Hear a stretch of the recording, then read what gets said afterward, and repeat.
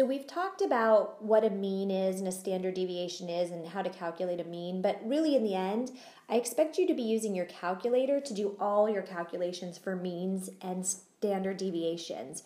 You need to figure out how your calculator works, and if you haven't already looked through the videos, then as soon as you watch this, you want to watch the video specific to your calculator or just go Google it or hit YouTube videos and you'll find how to use it. Some of you have to put your calculator into statistics mode before you can start working on it. Others, it already is in a statistical mode. But every time we go to do a new problem, you're going to need to enter the data for whatever problem we're working on. And from there, you should then just be able to retrieve whatever numbers we're looking for, be it mean, standard deviation, etc. But the key here is that those crazy formulas that we saw in section 3.1 and 3.2, you will never be manually doing those. The other piece I want to be sure you recognize is the symbols that you're going to see on your calculator. So, in terms of your calculator, pretty much every calculator I've ever seen will have the N symbol. A lot of times you'll see this right after you enter your data.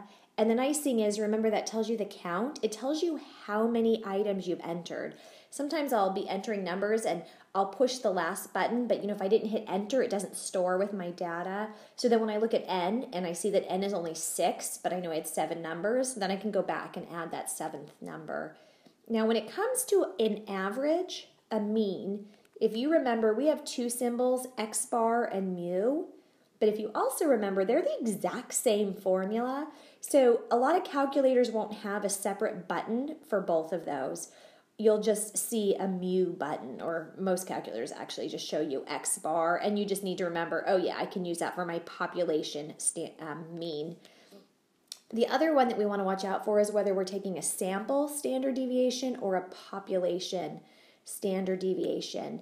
Now, in general, S is for a sample and sigma is for a population, but there are a few variations. Sometimes I've seen a subscript be used, and it can be X, N, anything else, it doesn't really matter. But the one that sometimes can throw people off is that when we're talking about a sample, the symbol sigma is used, but the key is because it's n minus 1 as a subscript, and if you went back to your section 3.2 notes, you'd see that a sample standard deviation is calculated by dividing by n minus 1, and a population is dividing by n.